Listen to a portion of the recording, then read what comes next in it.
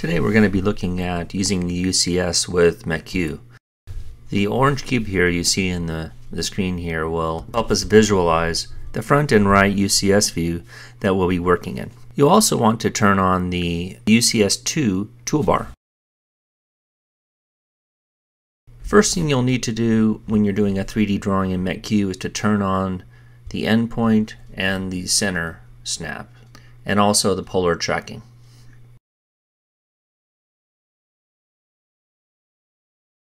First, we'll be working within the front plane. In Mech-Q, it's a great idea to create construction lines, which we'll be doing here shortly. And the first thing we'll want to do is to activate the front view within the UCS pull down. This doesn't change the view, it only changes the way you work within the X and Y. Again, this is the front face of our piping schematic. The cube, of course, is not necessary, we're just using it as a visual guide. We'll be creating two T's and two elbows. Now we're going to turn our schematic so that it's on the right face.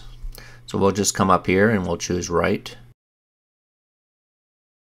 And then we'll just put in a construction line at the bottom here.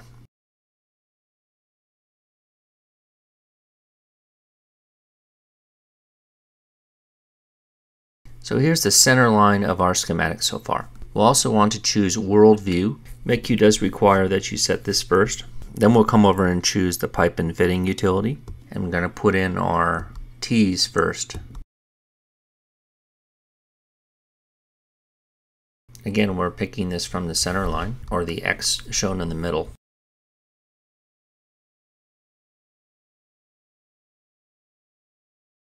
And then entering two points.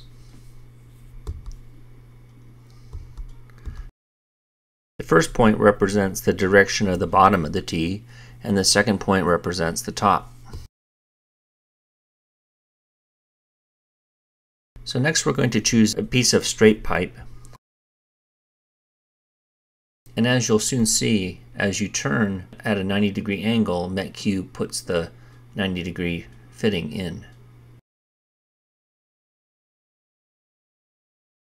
The rest is just a matter of snapping to the center of the fitting and then to the end point of the center line.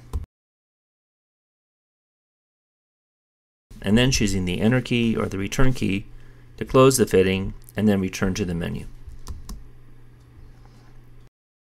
And here I'm, I'm just putting in a, a flange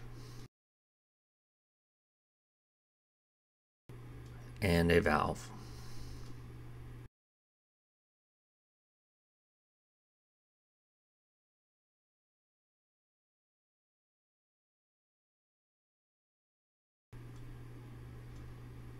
I hope this has showed you a little bit about how to use construction lines in the UCS and feel free to call us if you have any questions. The number here is 888-271-7121. Thanks and have a great day.